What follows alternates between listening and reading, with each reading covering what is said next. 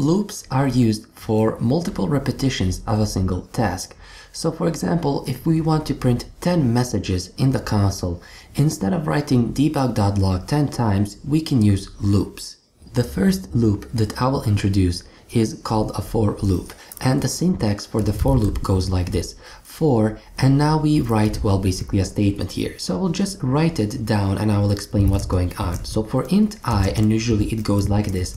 For int i is equal to 0, i is less than 10, i plus plus. So it will be i plus plus here. Now, what this basically means? Well, here we are creating an integer i, which is initially equal to 0. And this basically means for int i, which is equal to 0, as long as that int is less than 10, repeat the loop and execute the code that's, well, here in the loop, and then increment i by 1. So this plus plus means it will increment the value by 1. So basically this is the same thing as if we will say i is equal to 1 plus i. So 1 plus i, not 1 plus 1. So this is basically the same thing. So the shorthand for this is saying plus plus like this. We can also say minus minus. This will subtract 1, excuse me, from our variable. So basically this loop will execute 10 times. And here we can say debug.log, so not assert again, so it will be debug.log. And here we can say execute it, and we can append our i to see how many times our loop is executed.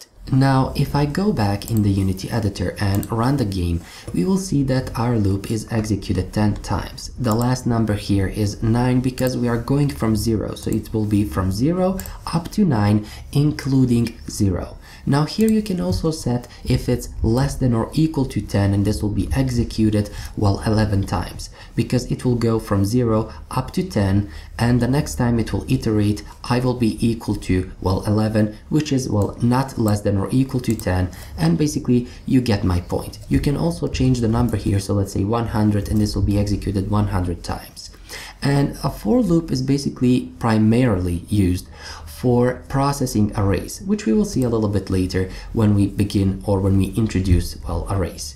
Another loop that we have is called a while loop and it goes like this. So we say while and here in these parentheses what we put needs to evaluate to be true in order for the code that we place here to be executed. Now in order to write the same loop or using int i as we did for our for loop, we will need to write it like this. So for int i is equal to 0, and here we will say as long as i is less than 10 basically. And here inside of our while loop, we need to increment i. And now we can simply use our debug.log and here we can say executed and we can append while i. Now, if we go in our Unity editor and try to run this, we will see that it's executed 10 times and we see the number 10 here because we incremented, well, i here before, well, using execute. So we are incrementing i before, but we can simply, well, remove this code and place it below here and we will get it from 0 up to 10. Now keep in mind that the most common mistakes using a while loop is, well, when you create an infinite loop. And that is when this, well, condition here never gets to be false. So if we remove this i here, so this will be true forever. So as long as i is less than 10, i is 0, and 0 will be forever less than 10, this will be an infinite loop and our program will crash. So just keep in mind that the condition that you place here needs to become false in order for the while loop to stop. And again, I'm emphasizing, keep that in mind because that's the most common mistakes, especially with beginners, that they create infinite loops when they use, well, the while loop. The last loop that I want to introduce is called a do while loop and the syntax goes like this. So we type do and then we type while. The difference between the two is that the do while loop is executed at least once before performing the condition check right here.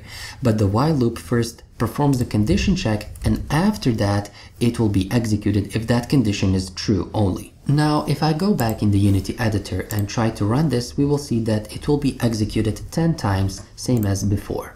But as I said, the difference is that first we are executing and then performing a check. So if I say here false, which means that our condition is not true, but this right here will be executed once. So if I go back run it, we will see that it's executed, well, once. And this is the difference between a while and a do while loop. Because as I said, do while loop will be executed at least once. Generally, we are going to use more while loops in our game programming than do while loops, but I just wanted to point out that we also have a do while loop and maybe it can come in handy if you need it.